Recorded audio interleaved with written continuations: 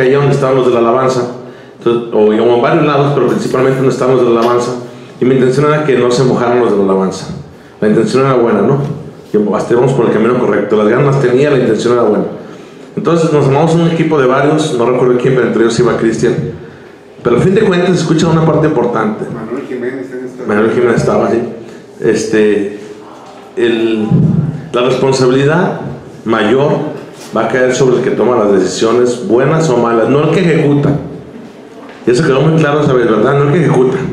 El que dice, no, vamos haciendo esto. Y ya sabes, uno es bueno para organizar rápido, ¿no? Para mal o para bien, pero para organizar. Hasta ahí va bien la historia. Empezamos a podarlo. De aquí que llegamos a ese árbol pasaron muchas desgracias. Porque empezamos a podar por alrededor. Había unos vástagos, unos vástagos, se les llama así a los que dan plátanos, ¿verdad? Yo nunca había agarrado un machete. Nunca había agarrado un machete, mucho menos cortado un árbol. Ignorancia. Grábate las palabras que estoy poniendo en alto. Ignorancia. Nunca había agarrado un machete y nunca había este, cortado un árbol. Y para los que se burlan más de mí, tampoco Cristian, porque agarró el hacha y se le fue también. Cuando dio el hacha, se le fue. Era uno de los involucrados y, y como, como Eliseo, pastor, quiso darle con el hacha y el hacha salió volando. Y la verdad, yo creo que Dios quería tratar algo con Coque porque le pasó rozando a Coque por la cabeza esa vez. No, el hacha no le pegó. Hasta ahí muy bien, el hacha no le pegó. Parece de chiste, pero dentro de este chiste vamos a encontrar una, una buena reflexión. Nunca me explicaron que los vástagos o los de banano, los plátanos de, de- los, de los platanales, no es tronco, es pura agua. O sea, como mantequilla se va. Entonces, yo imagínate la escena, yo de un lado dije, y lo vi tronco grueso, dije unos cinco fuertes y se cae, ¿no? Y Coque del otro lado, yo dijo, abusado, prende, si Coque de este lado, y yo de este lado con el ancho, con el machete, entonces le doy. Y se corta como si nadie nomás oigo, ¡ah! Y veo sangre y se cae Coque. ¿no? Y- sí. Al menos aprendí que tenía piernas fuertes. Tenía piernas fuertes porque sí le di recio y no. Fue la cortada como de medio centímetro de profundo y unos 6 centímetros de ancho. Ah, casi nada. Casi nada. Pequeño detalle. Bueno, hasta va trágica la historia por no aprender, pero no aprendí la lección y seguimos adelante en el proceso que tumbar el árbol. Manuel de verdad sí sabía cómo, y él nos, nos me dio varios consejos. Pero como éramos igual de- o muy similares de carácter, me dijo, al fin de cuentas vas a hacer lo que quieras, vamos tomándolo como tú digas, me dijo. Él me dijo, hay que llevarlo hacia el centro, hay que quitarle follaje. Y yo en mi ignorancia le dije, por si un día quieren cortar un árbol, le dije, ¿cuánto puede pesar el follaje de un árbol? Son hojas. Pues nos llevó dos días y lo llevamos ya casi, casi a tumbarlo. Casi. Casi, casi a tumbarlo, a nada. Para que te des una idea, esta era la congregación, esto era un muro perimetral, la iglesia que al fondo y el árbol estaba en, un- en una, pegado a una barda. Pues ese día, hablando de liderazgo, ese día, yo salí y le dije, falta poquito para tumbarlos, ¿cuántos me ayudan a amarrar una soga, amarrar la camioneta y empezar a jalar? Y aunque no levantan mano, varios se dispusieron, varios se dispusieron a jalarle. Y ahí estábamos, jálale, y, y te lo juro literal, el árbol se pandeaba, yo quedaba a, a nada de rozar suelo, y se trataba de rezar, dijo, metamos la camioneta, y en este jalón, el pastor me dijo, ya Manuel, ya déjalo así. Ya y no es casi lo mismo. Ya y no es casi lo mismo. Me dijo, vamos dejando que lo haga alguien bien o vamos buscando cómo es. Pastor, ya lo traemos, ya está el suelo, ya está lona el árbol. Déjeme.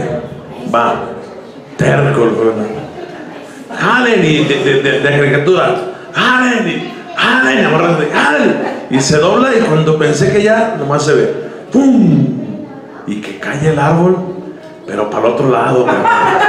Para el otro lado cayó. Tumbamos un muro, este, quebramos un horno, un horno de macetas, cayeron láminas, ¿verdad? Lo cayeron láminas, pero cayó el muro, digo, cayó el árbol. ¿Hubo estragos? Sí. ¿Hubo que pagar daños? Sí. Se arrancó la defensa de la camioneta. Eso sí, la soga muy buena, ¿no? No se, no, no se reventó la soga, muy buena, no sé quién la habrá llevado. Creo que era el lado que le llevado una soga muy buena que tiene ahí. Muy buena la soga, esa hay que guardarla de recuerdo. El árbol cayó, cayó por el otro lado. Efectivamente quitamos el problema, pero las consecuencias fueron muy graves. Un joven lesionado, varios cansados, ampollados, se cambian apoyados esa vez un día antes. Mande. Con temperatura, Cristian, yo siento ya por dar tres hachazos que dimos y ya traíamos temperatura, bien cansados. este, pasaron muchas cosas y no aprendí la lección que fue lo peor yo creo. Digo, árboles ya no tumbo, bueno, siempre que dicen hay que tumbar un árbol ya no me ofrezco, pero hay cosas que sigue la terquedad y la necesidad los va a llevar a un problema gravísimo. Aquí soy de caricatura y gracias a Dios no era un día hábil para el taller, fue un domingo, a un lado del taller de macetas, no era un día hábil, no había nadie. Y todo terminó en bienes materiales, pero hubiera habido un cristiano ahí, hubiera habido alguien en el horno y le cae ese árbol, creo que hubiera estado algo grave.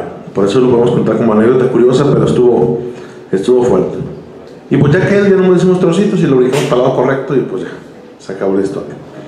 La motivación era muy buena, las ganas las tenía, eh, la intención era muy buena también, pero mezclé muchas cosas que no se tienen que mezclar a la hora de tomar una decisión. Ocupo que me ayuden a contestar dos preguntas y ocupo gentes honestas y claridosas. Y trato de estar pensando en Max y en Naomi para hacer las dos preguntas bien sencillas. Bien sencillas. Bien sencillas de aquí, muy fáciles están estas. Y empiezo con personajes muy, muy que de novela, no existen, ¿no? Pero yo te pregunto a ti, Max, eh, ¿Robin Hood era bueno o era malo? ¿Escuchaste la historia de Robin Hood? No, no lo medites mucho, dime lo que. Yo sé que es, por eso te pregunté a ti, porque vas a decir lo que en verdad tú crees. ¿Robin Hood era bueno o era malo? Para ti era malo. Naomi, ¿Robin Hood era bueno o era malo? Yo digo que bueno. Bueno, ok. Sabemos lo que hacía, ¿no? Robaba a los ricos para dárselo a los pobres. ¿El personaje del zorro era bueno o era malo? No, no, no que estaba bueno, no, que si era bueno.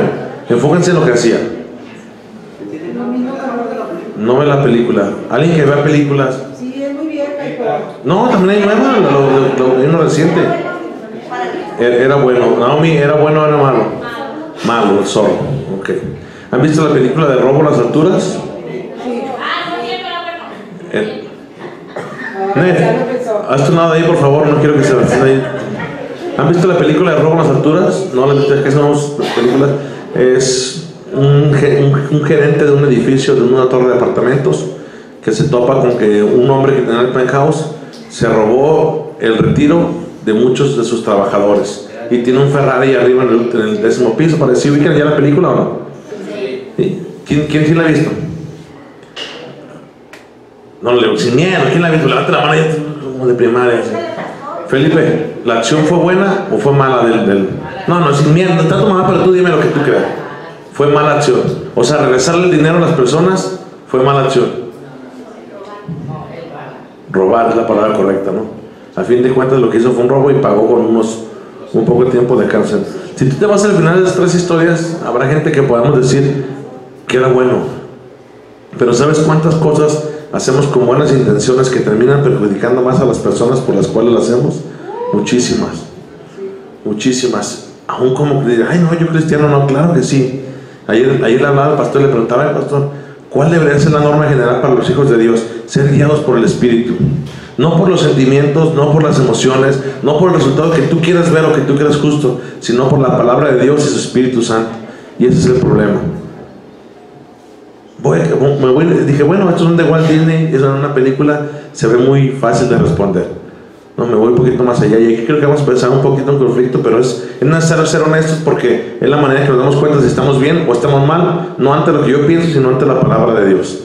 ¿Sí? Ok. A todos nos ha pasado, a muchos, que va alguien por la calle y van a un estado mal.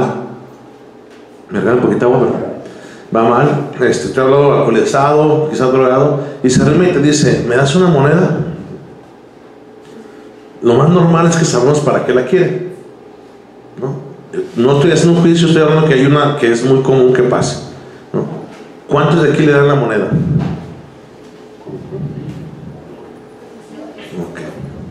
Ah, ¿De qué depende ese a veces? No me digas de que traigas una moneda, porque normalmente todos tenemos una moneda.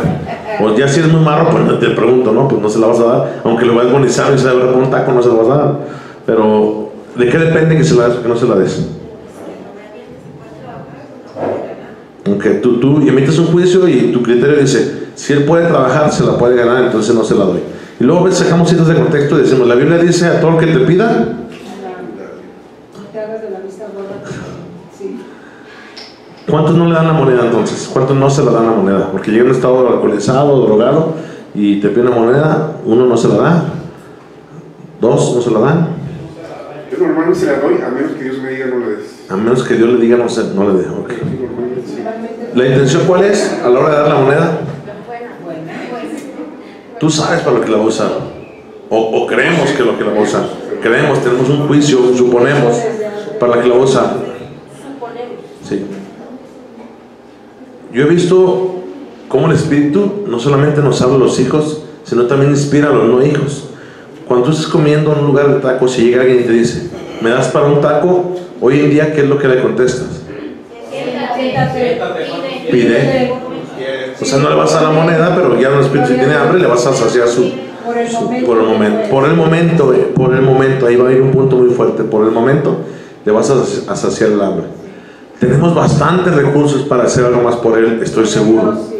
Estoy seguro, más allá de darle una moneda, ofrecerle un taco, tenemos bastantes recursos y no hablo de dinero para hacer algo más por él.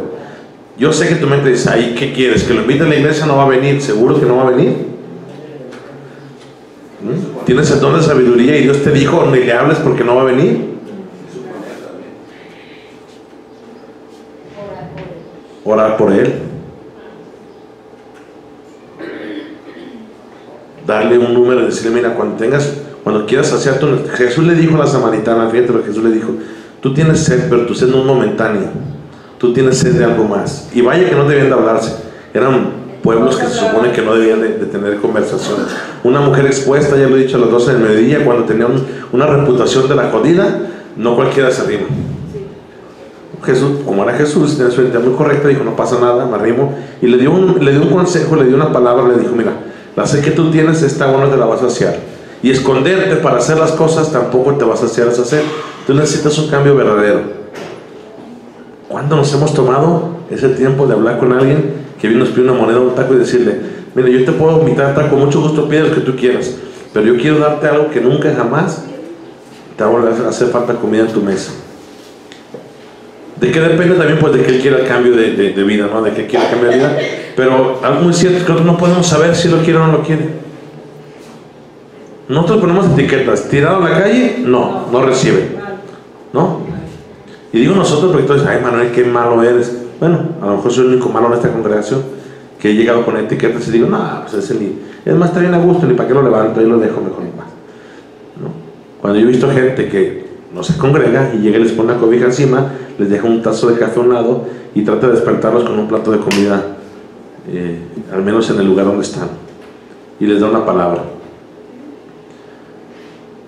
Y ese hombre se levanta y recibe a Jesús y el día de mañana lo ves congregándose en algunos de los lugares. Y he visto campañas de evangelización grandísimas, grandísimas, grandísimas, donde aparentemente a lo que uno ve no tienen el impacto que deberían comparado con esa persona que solamente le llevó un café, un desayuno o una cobija. La motivación. La motivación. Hay, una- hay, hay veces, y lo, lo empiezo a hablar por mí porque yo me metí en oración con Dios para que me mostrara cosas correctas. Porque tengo muchas ganas de hacer muchas cosas pero también tengo mucha ignorancia. Las intenciones muy buenas no siempre son resultados muy buenos. Tengo ganas de ayudar a mucha gente.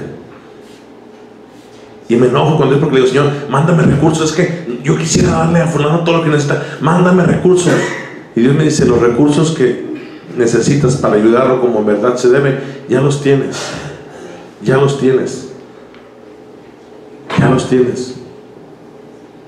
No, pero es que dices que tu motivación, tú lo que quieres, Manuel, es, es, es momentáneo.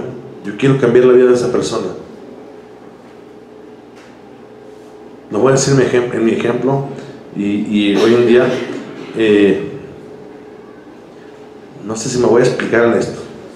Quiero ser muy claro y si no, de veras, con calma lo llevamos. ¿Cuántas veces ayudamos solamente por el instinto, sin un, sin un proyecto bien, bien- específico, sin un fin? Y a fin de cuentas lo que, lo que hicimos fue motivar algo peor. No sé si me voy entendiendo.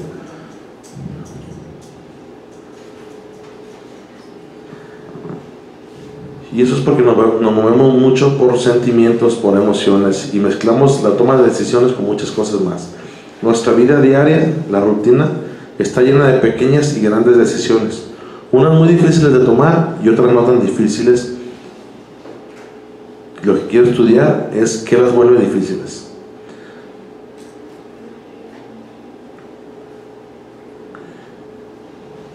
Esta frase la vi en Facebook y me la pirateé para aquí. Y digo, la leí pues sí. No sé, no sé quién la puso, luego le doy reconocimiento que lo había puesto, la verdad no lo recuerdo. Y dice ahí, ¿cuántas veces nos enseñaron? El querer es poder. Bueno, a mi mamá me lo decía de chiquito, no hijo, pero es que querer es poder. Y, y, y de hecho me hizo que me aferrara a muchas cosas que la verdad no, yo siento hoy después de varios años que no eran para mí.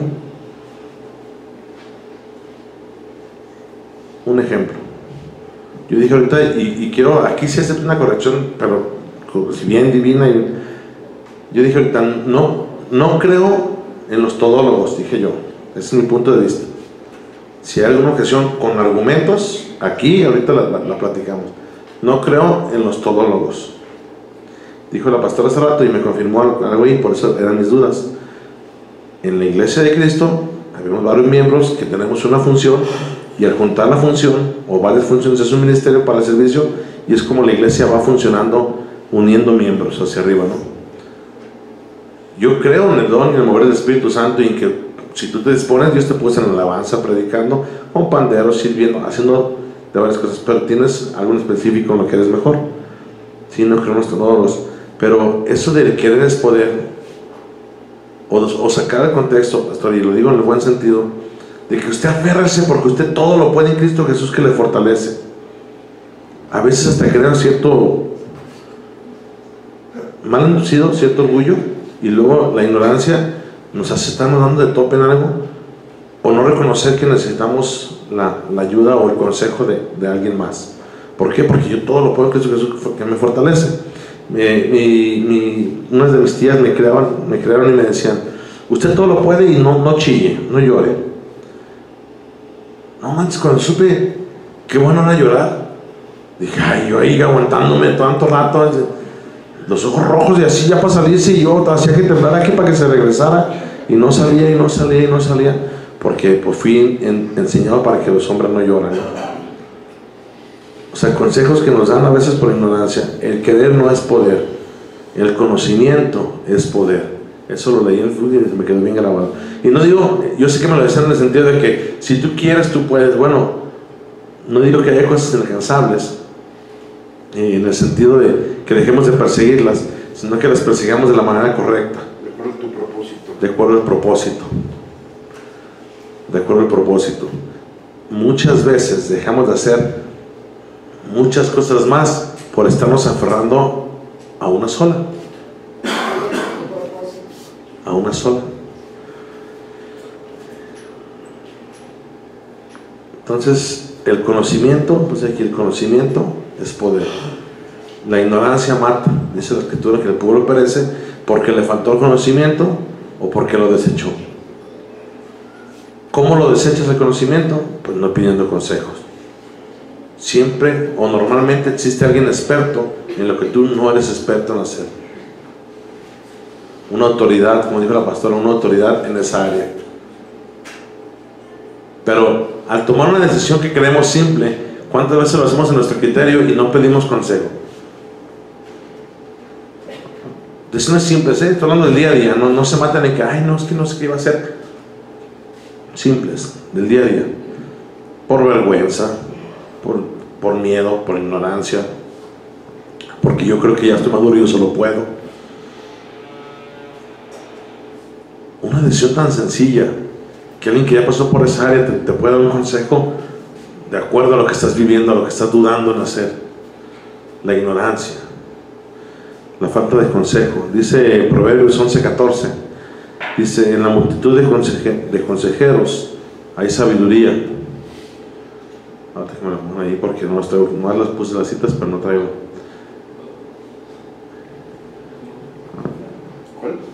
Proverbios 11:14.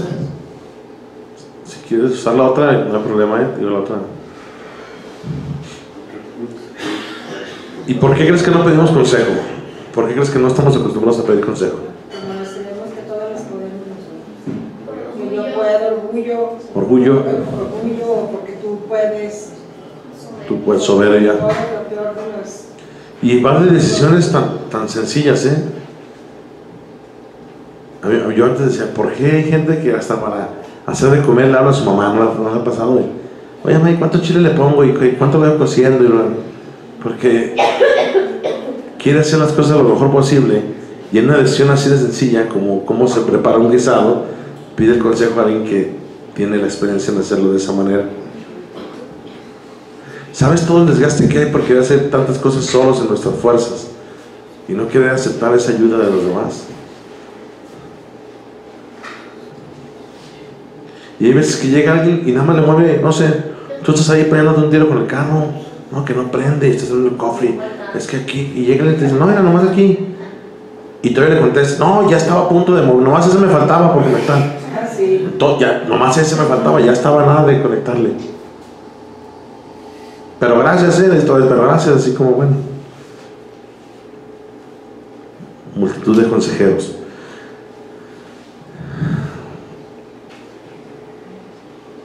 Hablaba hace rato de personajes de, de ficción, Robin Hood, El Zorro y esta película.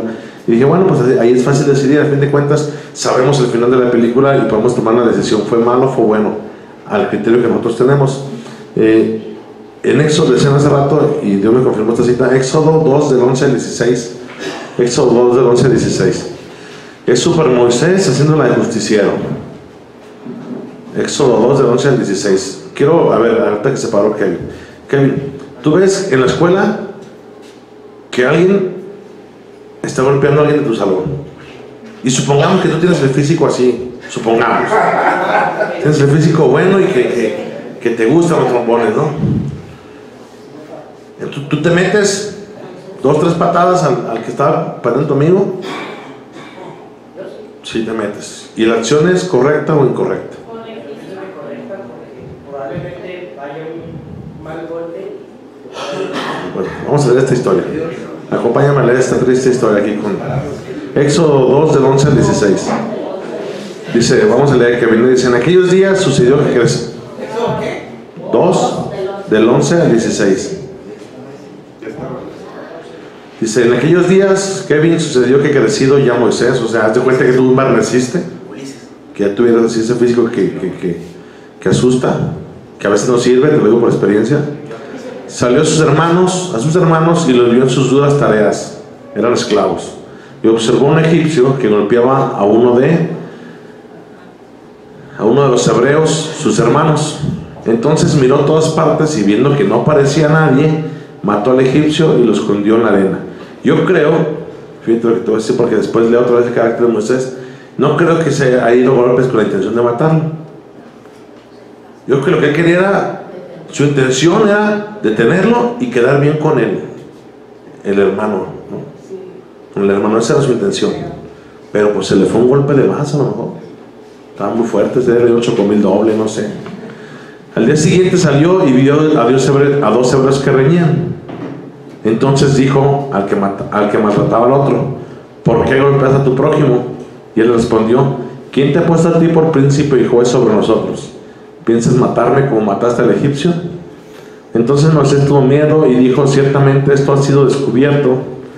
Oyendo Faraón acerca de este hecho, procuró matar a Moisés, pero Moisés huyó delante de Faraón y habitó en la tierra de Madián. Técnicamente Moisés era como, no, no técnicamente, era un hijo adoptado de Faraón. Sí. Tenía los beneficios del castillo. Y puedes ayudar más con el conocimiento la dirección correcta desde dentro del castillo, que bueno, sabemos lo que hizo después, pero puedes ayudar más desde dentro del castillo que desde fuera. La decisión de él provocó que le diera miedo y corrió a esconderse fuera del desierto, fuera de- del lugar donde estaba. La intención era buena, era salvar a uno de sus hermanos. Y el siguiente dijo, voy a hacer lo mismo, acabo que ya funcionó. El resultado no fue el correcto, no fue lo que él quería en el momento, aunque después se vio para su propósito. Pero saliendo de ahí la lección no fue entendida. Saliendo de ahí volvió a ver una injusticia, vio que había unas mujeres que se arrimaban a darle de comer a sus animales, perdón, darle de beber a sus animales, y llegaron los pastores, y, y ya saben, ¿no? El hombre cuando hay el machismo, quítense de aquí, el pozo es de nosotros, y aquí vamos a dar nosotros primero. Entonces él se levanta y defiende también a estas mujeres. Pero hay una parte que yo, no, yo, no- que yo decidí no, no llenar de, la escritura aquí porque creo que es correcto lo que dice ahí. Esta vez no se dejó ir los golpes. Dice que se paró y las defendió. Y en la otra, en la otra parte literal dice que se paró y se le dejó a golpes al, al, egipcio. No sé, a lo mejor usó una voz fuerte, a lo mejor usó diálogo, no sé. Hay muchas maneras correctas de defender sin necesidad de cargar los golpes. Violencia siempre va a producir más violencia. A lo mejor tú lo liberas a él, pero ¿sabes qué? Tú lo liberas a él de un enemigo y el día de mañana ese- esa persona se vuelve tu enemigo también. ¿Sí me explico? La intención es muy buena. Debe de haber acciones que, que produzcan algo diferente. Si me preguntas cuáles, a lo mejor en mi ignorancia te puedo dar malos consejos, no sé.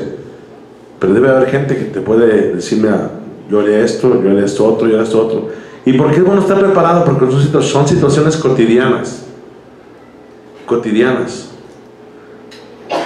A los que andamos en el carro, nunca has pasado y ves que alguien va molestando en el carro y te dan ganas de darle un jaloncito al carro y nomás para que, ¿no? O patearle para que se le quite lo. O sea, la intención es, es ayudar a alguien sin el conocimiento de por qué está siendo perseguido, de por qué, aunque nada justifica la violencia, de por qué está sucediendo eso. Resulta que a veces hay compañeros provocadores que buscan ese, ese tipo de, de acciones. Y tú no estás acabando con el mal. Lo que estás haciendo es sustentarle que su error va a ser justificado y que tiene alguien de su lado para seguir haciendo lo, que, lo malo que le, que le está haciendo.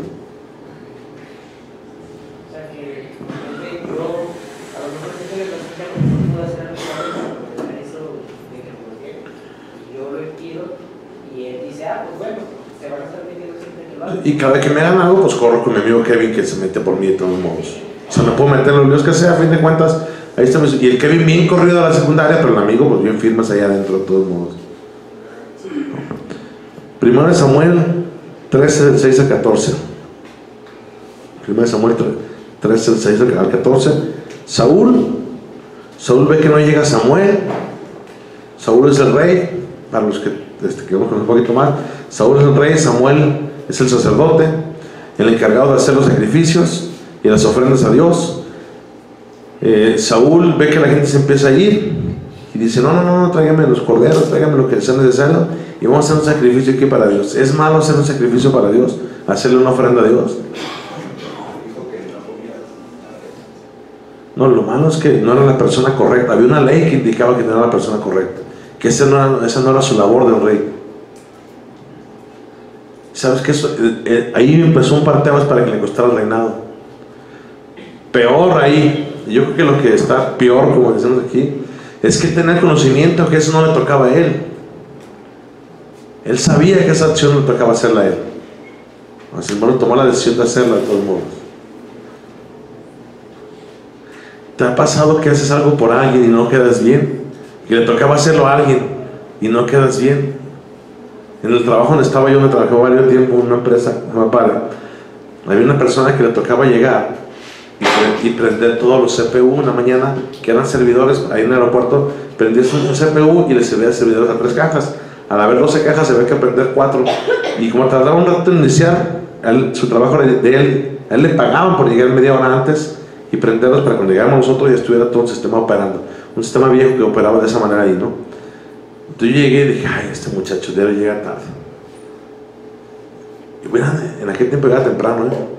Porque había una penalización bien fuerte, si llegabas tarde ya estaba, estaba fuerte. Y si temprano en aquel tiempo. Y llegaba yo los CPU. Y cuando llegaba le decía, ándale, date prisa, porque ve, ya no llegas tarde, ya están prendidos. Y un día los, los, los prendí y se quemaron dos. Igual que lo largo me pasó, se quemaron dos, dos CPU.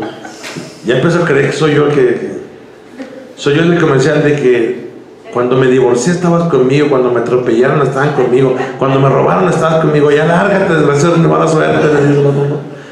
Se quemaron dos y llegando le dije, oye, ¿sabes qué? ¿Dónde no prenden? Y de repente veo que me mandan a hablar a la oficina y me ponen acta administrativa por prender yo los CPU. Y le dije, espérame, espérame, pero ¿por qué a mí? Si el encargado es fulano. Y me dijo, ah, pues fulano. Nos dijo que tú llegas y los prendes sin preguntarle cuál se prende. No sabía que tenían un orden, había que prender primero uno para que operaran, tenían un número. Y ya los prendí así a lo loco y funcionaban, pues yo los prendí ese día igual. Nos quedamos dos horas sin poder trabajar en el aeropuerto, poder cobrar, que dos horas representaban muchísimo dinero. ¿Quería que yo pagara el dinero? Mi intención siempre fue ayudarlo, que no lo castigaran. Pero hice una acción que no me tocaba. Y recibí una consecuencia que, que no me tocaba, pero me la merecía por, por la ignorancia. Y por no hacer responsable a alguien de lo que tenía que hacer. Esta está, esta está más fuerte, ya la he compartido aquí. Segunda de Samuel 6, del 1 al 8. Segunda de Samuel 6, del 1 al 8. ¿Todos ubicamos al rey David? Sí. ¿Nef? ¿Ubicamos al rey David o no? ¿Sí? Ok. A ver, ¿eh? ¿El de los ballenitas? No, ese no es. No. Ese es otro. No era rey tampoco. Dice, David volvió a reunir a todos los escogidos de Israel, 30 mil. Y se levantó David y partió de, de Balá, de Judá, con todo el pueblo que tenía consigo para hacer pasar de ahí el arca de Dios sobre el cual era evocado el nombre de Jehová de los ejércitos. Perdón, que mora entre, entre los querubines. Pusieron el arca de Dios sobre un carro nuevo y le llevaron de la casa de Abinadab, que estaba en el collado, y Usa y Ayo, hijos de Abinadab, guiaban el carro nuevo.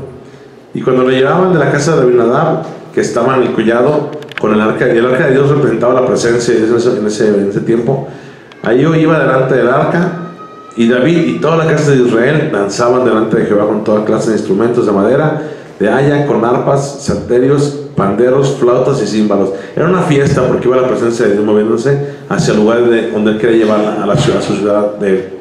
Si todo hasta ahí todo va muy correcto, o aparentemente va muy correcto, porque no, había un modo, había una ley y una, y una manera correcta de transportar el arca. Y él lo hizo pues con su criterio, ¿no?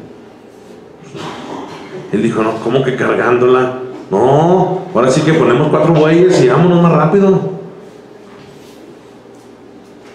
Resulta que los bueyes, imagínate, el arca representaba la presencia de Dios. ¿no? Voy a ponerlo en un contexto que lo entendamos más así. No, no, porque este ya sabe muy feo, le voy a poner ese, pero no.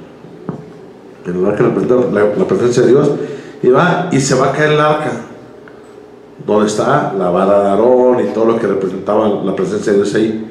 Y este hombre usa, pues se va a caer, es como si se fuera a caer, no sé, el pastor y tú le das la mano. Pues es un instinto natural, es un instinto natural y más cuando tienes mucha devoción o aparente devoción por lo que está ahí.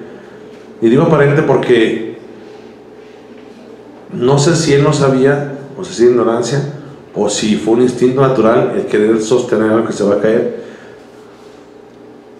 eh, como hemos tenido muchos, ¿no? A veces está con la estufa y ves que se va a tirar y tú lo agarras y se te olvida que tenés ahí 10 minutos y ahí está el quemadón que te pusiste. Y lejos de parar un daño, te quemaste y tú lo jalaste y aventaste más agua y hiciste un desparradero. Y, en afán de curar con la ignorancia hacemos muchas cosas malas. Este hombre toca el arca y dice que de manera inmediata cayó fulminado, muerto. Si yo nomás leo este pedazo, digo, no manches, pero pero Dios, ¿qué onda? Pues si su intención es buena. Mm, además te diré, mm, te veo que se va a caer tu arca y que la detienen y, lo matas todavía. La intención era buena. El modo no era correcto. Aquí no le dijeron de chiquito, te quemaste, ponte mostaza. Ponte frijoles. Una telita de cebolla. Cuando vas a un curso de, de primeros auxilios te dicen que la mostaza es fatal. Que lo único que estás haciendo es una noche de pierna, pero no, está- no estás sirviendo nada. Y mi mamá me decía, no metas la mano al agua porque te hacen ampollas. Y cuando voy al curso con expertos me dice, se quemó, lo primero que tiene que hacer es, meta la mano al agua. Enfríese, pero si me hacen ampollas, pues se las revienta después. Pero mi mamá me traía, corre, corre con la mostaza. Ay, ay, ahorita me fui. Ay, ay, ay, ay, corre, corre. ¿Sabes cuándo me iba a hacer eso? Pero son mitos que venimos oyendo, que en ignorancia nos vienen transmitiendo y los ejecutamos hasta el día de hoy.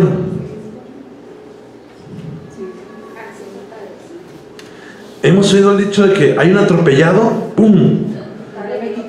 Y te dicen, o sea, alguien que sabe te dice, no lo toques, no lo muevas. No lo cargues. No lo cargues. Pero está media venida, pues no sé qué tengas que hacer. Eh, empieza a hacer señas con las manos, pone un cono, saca un fantasma. eh, y no un fantasma, uh, no, no el charro, otro fantasma. Saca- y ponlo ahí. Ah, Debe de haber, o sea, debe de haber alguna manera correcta que, que señale que hay un accidente ahí, no sé, para un carro con intermitentes atrás, pero no lo muevas. Pero la intención es sacarlo de la vía del peligro, no lo muevas. Si no era expuesta, se le va a exponer, te lo digo por experiencia. Era una fractura, lo paré y ¡um! se salió el hueso. Y como chiste, ahí está, ahí está, ahí está, ahí está, otra vez. O sea, iba a tener con. Ahí está, che, testigo, nomás era quebradura.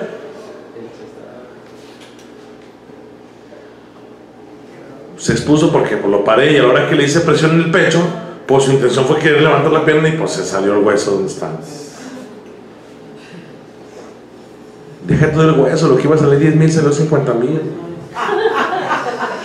No, o sea, esto, mi intención era sacar. Primero dije, y vamos a un punto clave aquí. Vamos a la ignorancia. Yo dije, ya conozco a mí, se está haciendo, no tiene nada. Lo correcto, después, después de mucho tiempo dije, fíjate lo que yo tenía que haber hecho. Tenía que haber llegado y le, le hubiera preguntado, le hubiera preguntado a José, ¿qué le pasó? Pero mis oídos se cegaron y es que no le pasó nada, es que no le pasó nada, dile que se pare, que camine. Bueno, el che morado pues no se le nota también, no crees que había mucho que. O sea, asustado y así se ve igual, ¿no? No. Y yo también pues, no, no sabía, pues, nada, sabe. Fue ignorancia, la acción que era muy buena, yo quería levantarlo. Y cuando llegó el policía, volteé y dijo, ¿quién lo movió? Y yo. Le dije, y yo todavía volteé, ¿quién lo movió? Ay, de ver, ¿quién lo movió?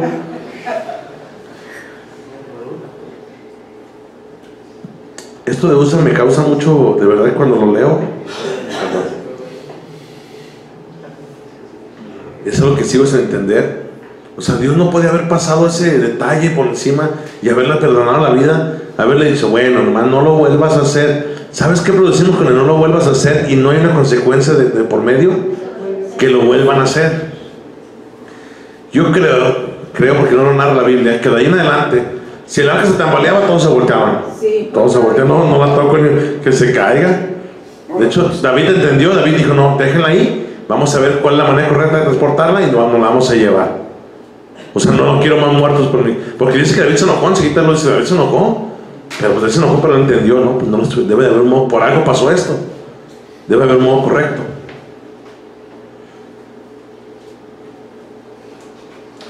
Ok. Segunda de Samuel, moviendo el tema de los lesionados. Segunda de Samuel 4, del 1 al 12. Segunda de Samuel 4, del 1 al 12. Luego que oyó el hijo de Saúl, Abner había sido muerto en Hebrón, las manos se le, se le debilitaron y fue atemorizado todo Israel. ¿Quién era el hijo de Saúl? Jonatán. El hijo de Saúl tenía dos hombres, capitanes de bandas de merodeadores. El nombre de uno era Bana y el otro Recap, hijos de Rimón. Beorita de los hijos de Benjamín, porque Berot era también contado con Benjamín. Pues los Beoritas habían huido a Gitán y moran, y moran allí como forasteros hasta hoy. Y Jonatán, hijo de Saúl, tenía un hijo lisiado de los pies. Hasta ahí. Ya no voy a la pantalla porque luego te pierdo la historia. Sí, Jonatán sí. Pero ¿sabes por qué quedó lisiado ese niño? No nació lisiado. No, por ignorancia, lo- Vamos a seguir leyendo. Tenía 5 años de edad cuando llegó de, de Jezreel la noticia de la muerte de Saúl y de Jonatán. Y su nodriza, la encargada de cuidarlo, le tomó y huyó. Y mientras iba huyendo, apresuradamente se le cayó el niño y quedó cojo. Su nombre era Mefiboset. Y ese niño, porque tú después lo lees cuando, cuando va David y lo busca, ese niño estaba enojado con la vida, estaba traumado. Le contesta David, David quería hacerle un bien, y ese niño dice que siempre se arrastraba, en aquellos tiempos no había silla de ruedas. Entonces, de hecho, David cuando llega lo encuentra postrado en el suelo. Y, él, su contestación para mí es cuando estés enojado con la vida, Le dice, vienes a burlarte de mí como te de un perro, le dice. La intención de la nodriza era salvarlo. Cargó un niño de 5 años, iba corriendo, tropezó. No da más detalle la Biblia, pero los, los dos pies del niño se quebraron.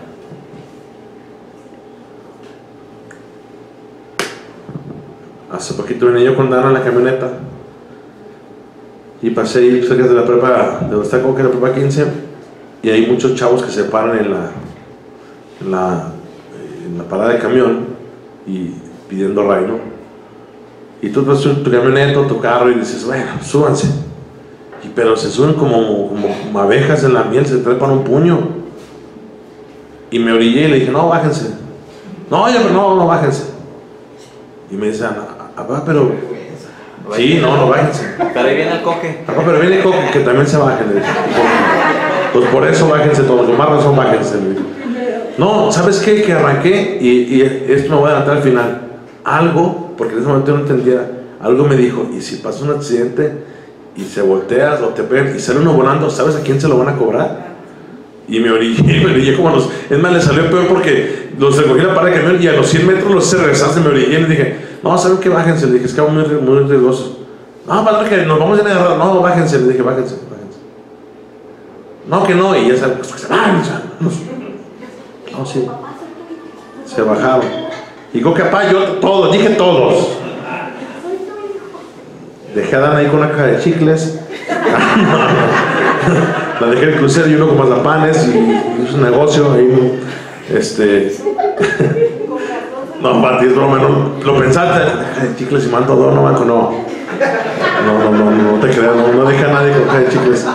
Este, mi intención dije, les voy a un ride, pues van, van a plaza, iban a Terraza Belénes, y que por ahí paso me orillo. Pero el espíritu me dijo, no.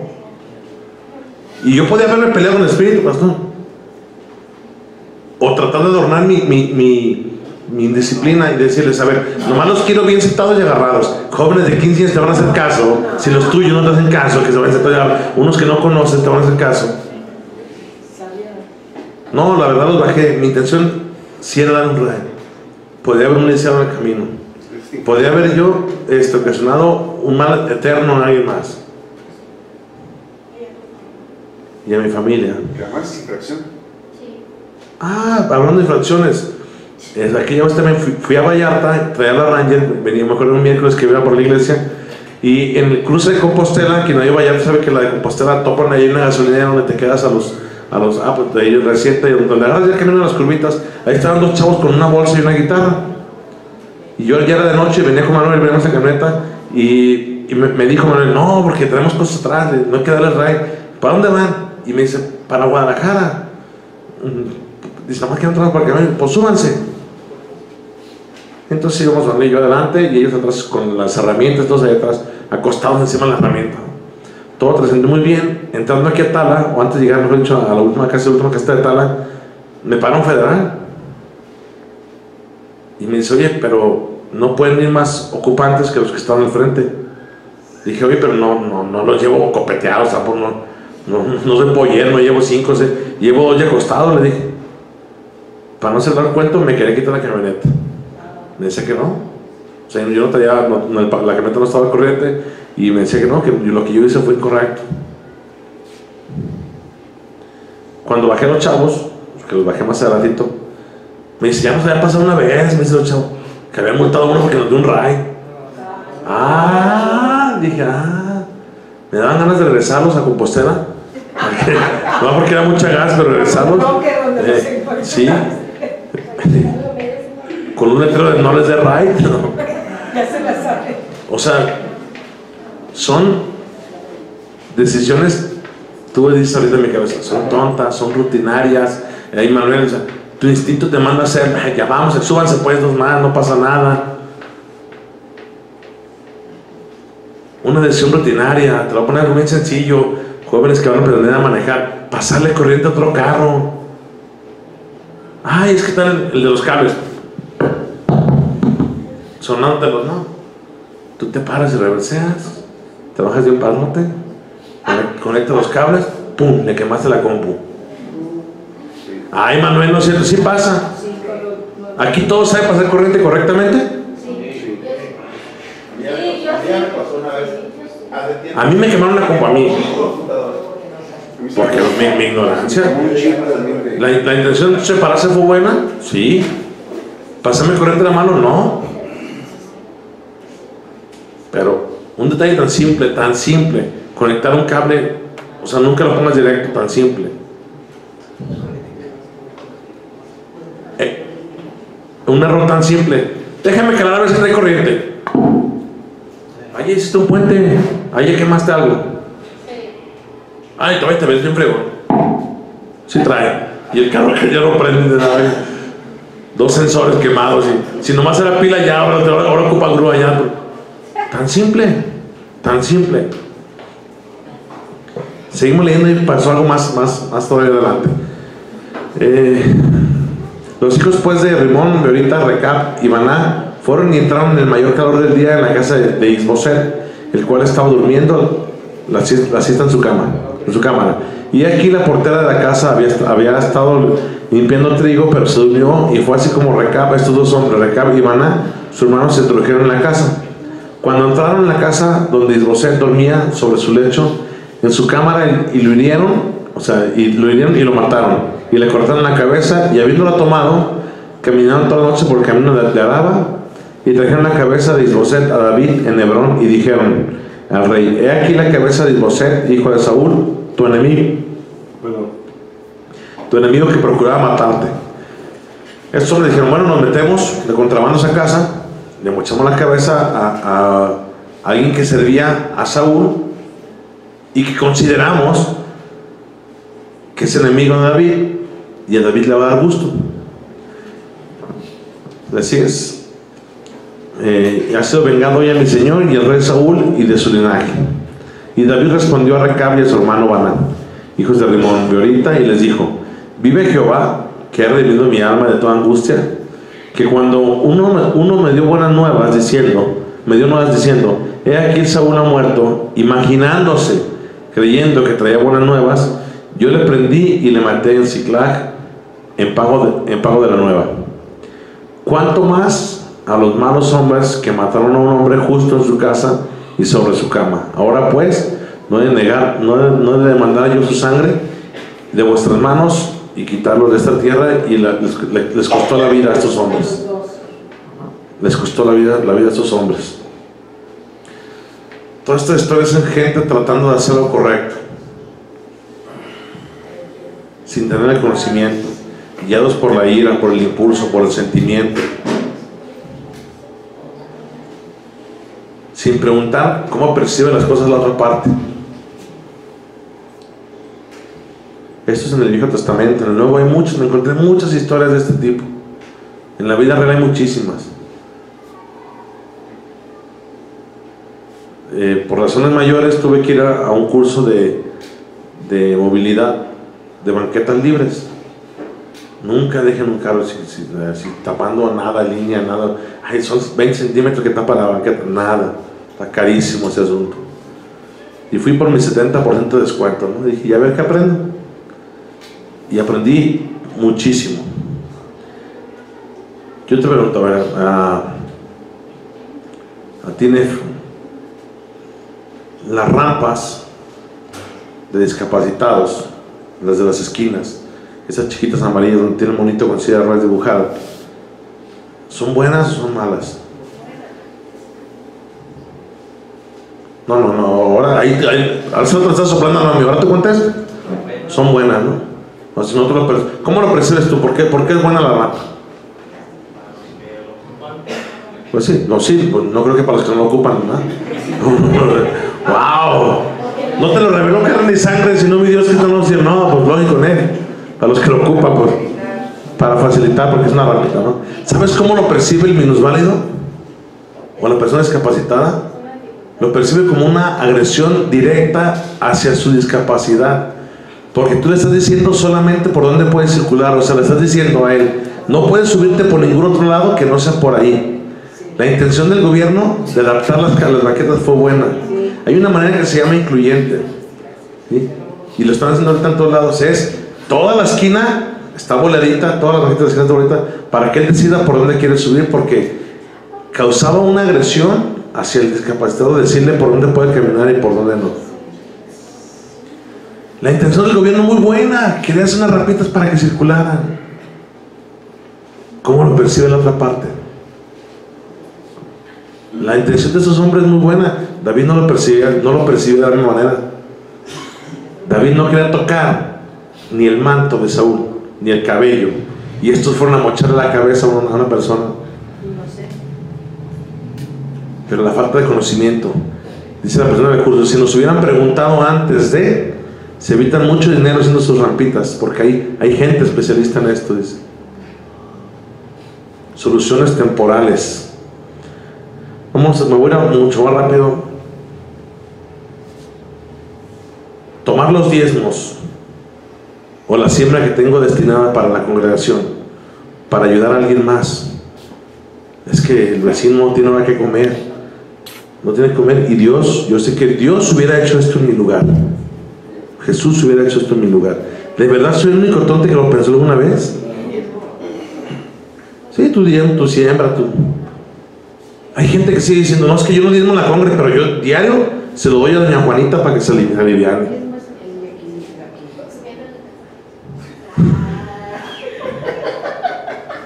Suena hasta, hasta espiritual, pastor, suena hasta espiritual. No es correcto. En afán, porque ni siquiera lo logras de proteger a alguien más, quedas desprotegido tú. Dijo Jesús en Mateo 22, 15 al 22, dar al César lo que es del César y a Dios que te vaya bien. También le dijo, no. ¿Mateo qué? Mateo 22, del 15 al 22. Dios da semilla que siembra y para que come. Va a haber una, tú dile a Dios que te guíe y va a haber una manera de, ayudar a esa persona, pero no con lo que es de Dios. Eso es, le robas.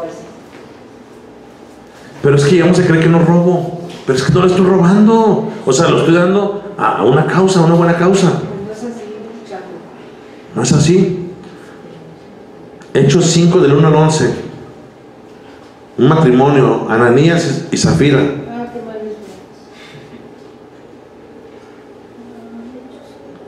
Dice, que, dice la escritura que ambos, ambos coincidieron en vender una heredad y entregar ese dinero a- a- al, al hermano de los apóstoles para que fuera repartido en la obra del ministerio.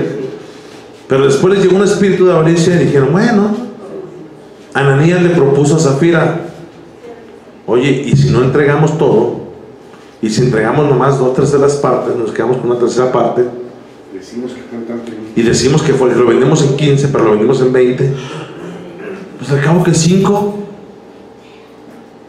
5 no pasa nada. 5 menos, pues ni se va a notar, 5 menos. Y llega Ananías y es confrontado por el Espíritu a través del apóstol, de Pedro creo que es el que lo, confronta, y le dice, ¿no era tuya la heredad? ¿No era tuyo el dinero? ¿No era tuya la decisión de venderlo o no venderlo? Pero ¿por qué hiciste pacto con Dios? Y después le fallaste. Y peor, quieres engañar al Espíritu Santo, le dice. Y esto me lo voy a, colgar a mí aquí como, como una soga en el cuello lo que voy a decir. Eh, mujeres bonitas de esta congregación, hasta voy a tomar agua, no atore. A veces nos ven necesitados, pero es por falta de fe. Es por falta de fe, es por mala administración y coinciden con nosotros en hacer una acción que no es correcta. Sí, me estoy enfocando, ¿verdad? Que no es correcta. Es que tengo apartado esto, pero era para esto y más para las cosas de Dios. Bueno, no, pasa nada, el micro, el los pones. Si no hay ninguno aquí, qué bueno, bendito sea Dios, que quede nomás como un consejo para las nuevas generaciones, para los jóvenes que se van a casar algún día, mujeres y hombres, lo de Dios es de Dios. Dijo el pastor algo muy cierto, primero Dios y todo lo demás que haga fila. Yo sé, a veces se nos atora un pan para nuestros hijos, una medicina. Y no, es que, a ver, ¿cómo? O sea, o le compro la medicina o doy esto para la iglesia. Se oye bien cruel la decisión, se bien la decisión. Hay una manera correcta de hacer las cosas. La segunda no va a producir lo mismo que la primera. Y se supone que estamos muy conscientes, pero en realidad, ¿cuántas veces lo, lo, lo ejecutamos?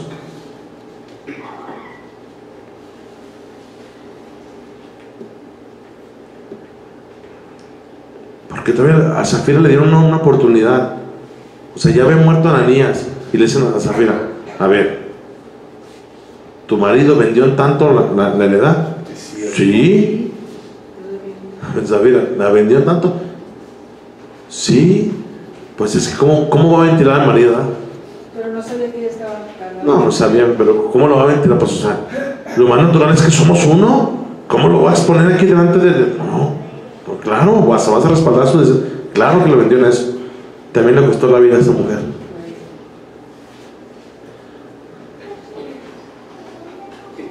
Segunda de Corintios, segunda de Corintios 9, del 6 al 9. Este y una más y voy a acabar. Segunda Corintios 9, del 6 al 9.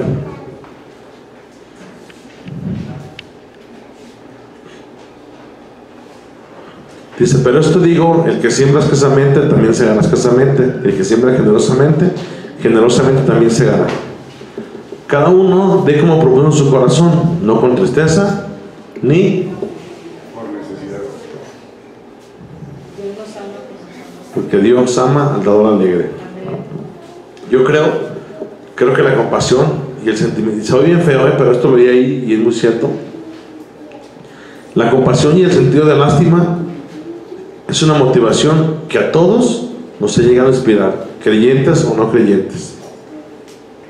Se confunde con misericordia. Se confunde con, ah, exactamente, ahí me. Pero no, esa, esa bueno, está un hilo de la misericordia, pero no es misericordia. Es lástima lo que tenemos, es compasión. Muchas veces no aplicamos disciplina por compasión o por lástima. Damos por necesidad. Es que, es que yo lo voy sufriendo varias veces. No estoy diciendo no le des, sino darle la ayuda integral completa con el conocimiento, con el propósito, con el fin, con la enseñanza y la dirección de parte de Dios. Y al final de cuentas lo único que, les, les digo es, seamos muy sensibles a dejarnos guiar por el Espíritu. Yo le pregunté ayer al pastor, eh, ¿Jesús recibió a los 30 o no recibió? Descendió el Espíritu sobre él, el poder del Espíritu Santo a los 30. ¿Estamos de acuerdo? Cuando llega al, río Jordán y es bautizado, dice que descendió el Espíritu, y entonces empezó a darle poder para hacerle todos los, milagros que, que hacía. ¿Cómo se comportó eso durante esos 30 años? Bien. No tenía el Espíritu.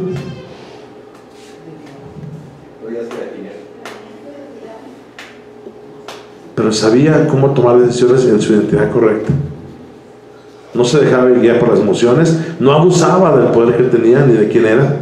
Sabiendo quién era, no abusaba. Porque le digo al pastor que el único relato que hay hasta antes de, de recibir Espíritu es donde dice que fue al templo y que a pesar de que estaba compartiendo, cuando llegaron sus padres le dijeron vámonos, no dijo, no, espérame, pues están en una cátedra, los tengo bien entretenidos.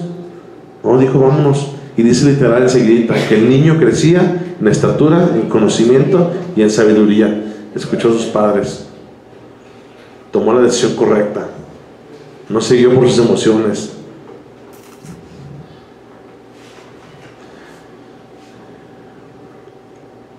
Dice en Lucas 4 que enseguida después de que Jesús fue bautizado, ¿y por qué te digo que tu mejor guianza siempre va a ser el Espíritu Santo, a pesar de que te lleve a lugares donde tú no quieres pasar o no quisieras estar? Tiene un propósito y eso es lo importante de todo. Tiene un propósito, tiene una motivación correcta, es el fin correcto. Dice que Jesús fue guiado por el Espíritu al desierto para ser tentado. Estaba atento y fue guiado por el Espíritu desierto para ser tentado. Y el conocimiento fue lo que hizo que Jesús librara esa batalla completa. Porque salió victorioso de ahí. Porque fue guiado por el Espíritu. Cuando no eres guiado por el Espíritu, por más buena que sea la intención, los resultados no son los correctos. María le dice a Jesús, en las bodas de Cana le dice, eh, ya no hay vino. Y Jesús le dice, todavía no hay tiempo, señora. Pero María pues, no sabía ni qué rollo, le dice que no hay vino. Bueno, comenzamos. ¿Sabes lo que empezamos en ese momento? Un reloj de arena. Una cuenta regresiva. Se activaron los milagros y el tiempo de Jesús le quedaban tres años para hacer la obra aquí. La intención de María era muy buena. Que se luzca mi hijo. No, sé, yo te estoy hablando de Manuel, ¿no? ¿Cuántas veces no les tú, tú, a ver, tú, tú dale, tú dale, tú puedes? Y a veces ponemos a los hijos a hacer cosas que a ellos no les agradan, no porque a nosotros nos agradan. La motivación, se me acabó la pila aquí, ponía, si tus ganas de hacerlo, te vuelvo al ejemplo del árbol, si tus ganas de hacerlo están mezcladas con la ira como Moisés, con la ignorancia, con la compasión, con la lástima, o es simplemente el deseo sin un propósito, abusado, prende un foco rojo. Prende un foco rojo porque analiza bien cuál va a ser el resultado de esa acción. Amén. Gracias por escuchar.